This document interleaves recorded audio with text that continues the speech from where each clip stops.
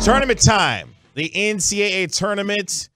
The field of how many is it? 100 now set? No, I'm 68. 68. That's right. Um, Kansas, Houston, Purdue, and I forget the last four. Yeah, you looking at me, and I'm sorry. You was about to say you was about to say Gonzaga, really? Yeah, I was, and I was like, actually, that's not right. Like that's, I feel like that starts us off. The right- Alabama, Alabama, Uh, yeah, Alabama was, and they got the number one overall seed, which I was a little surprised by. yeah, it seems like they got the number one overall seed because they were one of Houston's three losses, and they were like, that's good enough. They But played head to head. Here's the thing, though, real better. quick. Kansas, I think, had 17 quad one wins this year. Oh, you was in it for real. I mean, their resume was stacked. I don't understand how Kansas. I know they lost to Texas. Shout out to Texas for winning the Big 12 title game. because the Big 12, they just everybody beat up on each other, and also that's really portion a, a large portion of it. Alabama won their conference tournament. Yes. Houston lost theirs to Memphis. Uh, Kansas lost theirs to Texas. Shout out to Penny Hardaway, by the way. Memphis getting in, you know, uh, winning the uh, Absolutely, winning absolutely. the tournament, Conference USA tournament there. Yeah, I imagine all of that factored in when it came to giving Alabama the number one overall um, seed in this tournament. But yeah, first of all, like there's a couple things. Obviously, you know, who are you interested in? What what college basketball team are you like? Yo, that's the one that I kind of feel strong about. I just kind of want to talk about the tournament because one thing that I've noticed, as you know, we've even tried to maybe dabble in, and we've been open about. Uh, yeah, I need to get watching college basketball. Yep. It's getting about that time has it felt to you like it's been pushed publicly like on let's say you're watching espn or fs1 or whatever like it felt like there was a point in time you get maybe even 10 years ago where you looked up and you were like okay it feels like it's college basketball time because i'm seeing this put in front of me i don't really feel like that Yeah, shout out to the NFL for that in a lot of ways because Yeah. the NFL continues to dominate when it comes to the sporting landscape. But for the what two and a half, three week period from you know March to early April, this is typically where the NCAA shines its brightest with the NCAA tournament. And the buzz around it, I think, is still there, but not quite nearly as much. And I think part of that for me is I don't know who the hell a lot of these dudes are. And the college game itself, I think, has changed so much that the guys are not staying, you know, two to three years the way that they used to, to where you got a lot of the one and dones, and it's hard to invest unless you're a diehard. You know, we know our guy Will Chambers loves his Kentucky Wildcats, went to Kentucky. You know, Choppy loves his Tennessee Volunteers. Unless you're diehard in it, it's hard to keep up with the college game. And then by the time you get to the NCAA tournament, you're like, oh, the typical teams that are usually good at this are at the top normally. And by the time they get to the tournament, you know, you'll see what other kind of Cinderella teams make a run. But it's hard to keep up with the game these days. kg can you name anybody on this duke squad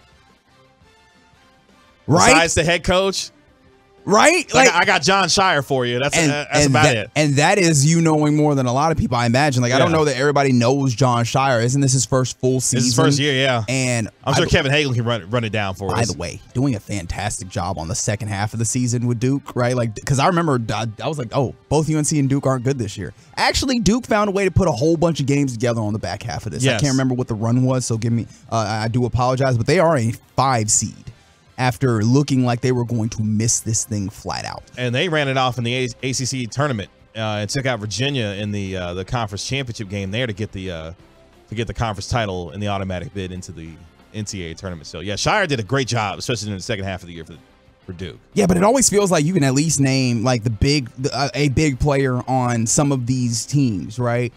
I know that there's a Filipowski on uh Duke. That's it, Kyle Filipowski. That's it. That's all I got. That's all I got like, for you. and I mean, I'm And not trying to say that I'm. I'm not- yeah, I'm not trying to say I'm the big, you know, college basketball guy, but it feels like the average uh, basketball fan could name a whole bunch of these, and I feel like the basketball player that college basketball player that everybody can name right now is Brandon Miller, and it ain't for basketball. So that I just find that fascinating. Now going into the actual tournament, which teams do you like? Are you interested in here?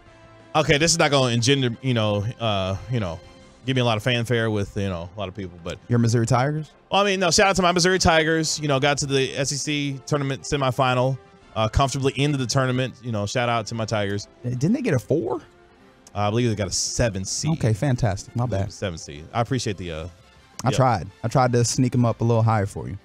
Uh, Houston's is really is really good. Kelvin Sampson and the Houston Cougars, they've got a legit national championship contending team uh, that I expect. Now I have to go back and look at their side of the bracket because I think they've got a couple of matchups that they can get taken out of. Uh, they have the possibility of maybe playing Iowa or Auburn. Indiana is in their pool Yes. as their four. That's a good team. Obviously, Texas is in their region, There and that is. is one Yep. to worry about. Um, outside of those, I mean, look, Miami was really good in the ACC this year, but I don't know that I'm afraid of them, especially with the way that Houston is. It's, uh, if if Sasser plays, because remember last year they went to the Final Four and their best player wasn't on the court. I had forgotten that Sasser did not play That's right. in last tournament. And in that championship game again against Memphis, where Memphis, on understandably, whooped their keisters, Sasser didn't play either. So like if Sasser doesn't play, that's a problem for Houston. But if he does, oh boy, that's a scary one. Um Yeah, I would love to see Texas and Houston in an Elite Eight. dog. Texas is such an interesting thing because they are going to the tournament under an interim coach. And like not just going to the tournament under an interim coach, they look like one of the better teams. Yeah. and probably one of the possibilities of winning because I was telling uh, everybody on the airwaves on Thursday, I believe, since 2002, there have been, uh, or sorry, every championship winner besides UConn has been top 21 in offense and top 27 in defense. Um, and there are not a lot of teams that fit into that. Texas is one of them, one of five. Right? It's Houston, it's Alabama, it's UConn, it's Texas, and it's Purdue that fit those parameters. And one of those teams is coached by an interim right now. And three of those teams are number one seeds that you were talking about here between Purdue, Houston, and Alabama. So that gives you a true indicator of what I think a really good indicator of what how good these teams are. And look, Terry has done a phenomenal job. Think about the circumstances that he had to take over that program with the entire Chris Beard situation. Who apparently now he's the new head coach at Ole Miss. Uh, is now Chris Beard. But for Terry, Yeah, the charges were dropped. We don't have to think about any of the other details of what happened and how the police said that they had they saw actual, you know, physical marks and stuff. They're like, well, the charges were dropped, so we can hire them. Well, it's good to know that Ole Miss is out here hiring people who, you know, allegedly put their hands on women. Really quickly, I know you guys are talking about the big Power Five schools, but shout out Oral Roberts. Oral Roberts has a 30 and four record this season, and uh, Will Chambers was talking about this over the weekend. That's that's a team to fear right there. I, mean, I know that they're in the Summit League and this, that, and the fifth, but come on now, give a little respect to Oral Roberts. I never heard this, that, in the fifth. That's different. I like it. I it. haven't heard that in a while. That's good. That's a good one. Um, I usually hear this, that, in the the third. third, yeah. You added Ah, a couple more. I Fifth is a new it. one. I like it. Um, but yeah, Oral Roberts historically, if you go back, you know, to some yesteryear, Oral Roberts gives you give you problems in the tournament. And you know where that took me to? Should I should I this year should I actually believe in the West Coast Conference? Because like usually it's the Okie doke. Don't do it. But this is the thing. Don't do it. This is the thing. There was a point where they had like two or th- like three teams in the top twenty five or something. Like they actually got some good teams. St. Mary's look good this year. It's always Gonzaga and St. Mary's. That's all I got for you. And Gonzaga finally made it to the Final Four, you know, a couple years ago with, you know, Jalen Suggs in the group. yeah, everybody thought they were supposed to win, huh? C- correct. And then Baylor was like, actually, no. Um, so, real quick though, before I forget it, North Carolina. I think this is another reason why there's not a lot of buzz this year. The, one of the teams, uh, by the way, the national runner-up last year, didn't even make the tournament. In fact, Carolina was so upset that they didn't make the tournament when the National Invitational Tournament, otherwise known as the NIT, came calling. Carolina told them, "Yeah, we're good on that. We're not going to They were so embarrassed they didn't want to show their face outside the house. it was like take it to the crib. He was like, "Y'all can keep that NIT Invitational. Uh, y'all, y'all keep that." And you want to know what's funny though? Eh, eh, They they rejected the NIT, but there there's two really decent schools out there. Shout out my Sam Houston Bearkats who couldn't even get to pass the Western Athletic Conference, and they're trying to do something in CUSA next year. Not the point though. Point is is point is All though. right, all right. I'm glad you got that out. All Point right. is, is UNT is in there, and UNT is a decent squad. I've I kind of had the pleasure of following them a little bit this season, and they they haven't been that bad. Carolina said we got too much damn pedigree for, for your little NIT tournament this year. After this is the crazy part about North Carolina, first AP number one team in the country to start off the year to not make the NCAA tournament. That is how historic History. in history. History. That's how historic North Carolina's fall was from last year to this year. AP number one, not even in the tournament this year. Hubert Davis and that group got a lot of work to do in Chapel Hill. Yeah, I mean to be fair though, like I don't know that I looked at their squad and saw anybody that was like, "Yo, that dude is nice." Bacot's a good player. Good player. All right, look, he's he's not on the level that Yeah. we're talking about in those ways, but I For guess sure. also some of that is the ways in which talent can go all sorts of different places. They can go to the G League and get some level of money. They can, you know, what I mean, go to one of these other, you know, instances that will allow you to kind of circumvent um the college route, or you can even there. It feels like there's all a whole lot more programs you can go to outside of the blue bloods where you feel like you still have that opportunity to make it to where you want to go. So yeah no i find that to be all very intriguing uh, myself. Um do you have like a final four that you're looking at earlier or are we still worried we're still worried about it? Also while you think about that the ringer kind of put together some you know a bracket breakdown and they said that the worst seeding in the tournament is utah state missouri Oh, really? Okay. yeah, they like obviously the Missouri is the seven seed, Utah State is the ten seed. You would expect Missouri to be the favorite, right? Nope, two and a half point underdogs against Utah State. Utah State's a good basketball team. I think they were a little underseeded actually coming into this tournament. Yep, that's what Uh, that's ringer. That's what the ringer is saying. Yeah, Missouri is going to have their hands hands full with Utah State um, going into this tournament. So I, I wouldn't be shocked if my Tigers get knocked out in the first round.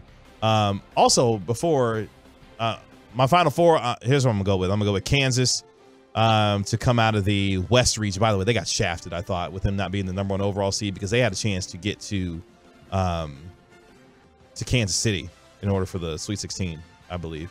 But anyway, I'm to go with Houston coming out of the Midwest. I'm to go with Kansas coming out of the West. I'm to go with I'm to go with Marquette coming out of the Isn't uh, that Shaka? Is yes, Shaka's back that's there? right. My man's won a conference title now in not one, not two, not three, but four different conferences. Shaka Smart's won a conference title in. So shout out to him. Uh, but I'm gonna go with Marquette, the Golden Eagles, uh, coming out of the East and out of the South. I'm going to go with. I'm gonna go with Arizona. I'm gonna go with Arizona coming out of the pack. I like 12. it. Arizona quite literally has the best offense in the nation. It's They like- do. Like they are playing on fire, and that's why I also like Arizona out of the South. Uh, give me Houston. Uh, give me like where you went, Marquette. Give me Duke. Like I Oh, you gonna do it? I- you gonna do it? Duke. What are we talking about when we get to turn Turner Time? Who's playing? Who is a hot basketball? That is a wildly. They um, might not get out of the first round. We were talking about Oral Roberts just now. They may right. not get out of the first Hey man, round. it's, it's one of the dreaded 512s. Yeah. And look, I'm just talking right now. I ain't filled out a bracket yet. I will change my mind because you know what I won't remember? This conversation right now. and That's then why you get the rewind button on the Audacy app. Oh, true, true. Uh, also give me Kansas, I guess. Kansas so damn good. Uh, Bill Self is going to be back for Kansas. Had a health issue that kept him out of the Big 12 tournament. Again, Kansas losing to Texas in the Big 12 championship game. By the way, it's so random. Shaq was at the Big 12 title game this past weekend, In Kansas City? hanging out in Kansas City for some reason. He just just popped up in Kansas City. Okay. He came for the barbecue, apparently. Uh, but the NCAA tournament, These people are about to revolt. You know that, right? Every time you mention Kansas City barbecue, these people lose their minds on you. I'm a big boy. I can handle it. Okay, fantastic.